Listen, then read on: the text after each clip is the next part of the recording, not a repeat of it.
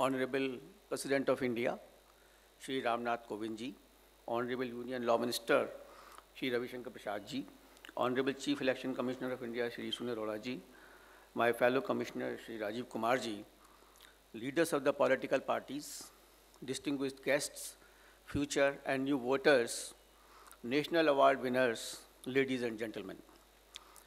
It's a matter of great privilege for me to welcome all distinguished guests to the function of 11th National Voters' Day. It is my honor to extend a very warm welcome to Honorable President, who has kindly consented to grace this function as the chief guest by his august presence. I'm also thankful to Honorable Law Minister, who has joined as guest of honor in this function. The tradition of celebrating the National Voters' Day started in 2011 when the National Voters' Day was launched on the conclusion of Diamond Jubilee function of the Commission.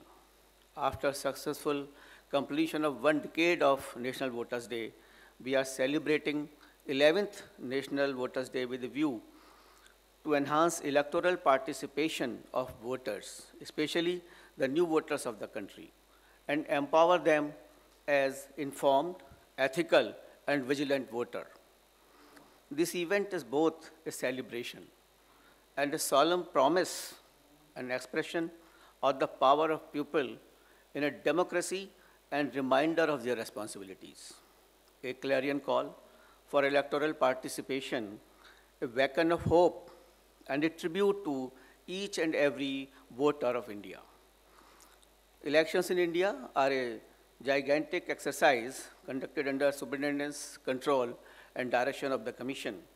The exercise has its own challenges in terms of sheer scale, size, diversity, and complexity besides logistics for man and material management during for free, fair, and transparent elections. Timelines demand strict compliance with little room for delays and mistakes. That is what makes our election sacrosanct and model for others. The Commission, under well-designed system for ensuring non-partisan and neutrality of our process, deploys personnel from different departments, including security forces, for successful, impartial elections. It is the dedication, devotion of duty, and hard work of these personnel that overcome all challenges and deliver free, fair, and peaceful elections to the nation. Conduct of elections during 2020 added another dimension of safety during COVID-19 pandemic.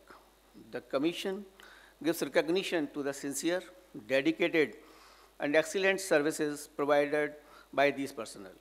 The people who will receive awards today are those whose innovation and creative leadership helped to conduct peaceful elections despite some very troubling and challenging circumstances, whether concerning law and order or COVID-19 situations. Their distinguished commitment to democracy had a transformational impact on electoral process. Their passion, their commitment, their sincerity, and complete involvement in election as an, import, as an inspiration and catalyst for others to emulate their example and get involved. The national awards are given based on outstanding performance in the field of general election management, voter awareness, use of technology, security management, electoral roll management, innovative measures, accessible elections, and overall conduct of elections. These awards are given in three categories, namely general category, special category, and best state category. The Commission also gives recognition and awards to civil society organizations, national and state icons of the Election Commission, government departments, PSU, for promoting electoral participation through effective and innovative measures. Besides the above, few special media awards are also given for campaigns regarding voters' education and awareness. On behalf of the Commission, I hereby congratulate the award winners of NVD 2021 and acknowledge their commitment and sincerity to conduct free, fair, peaceful, accessible, and COVID-safe elections.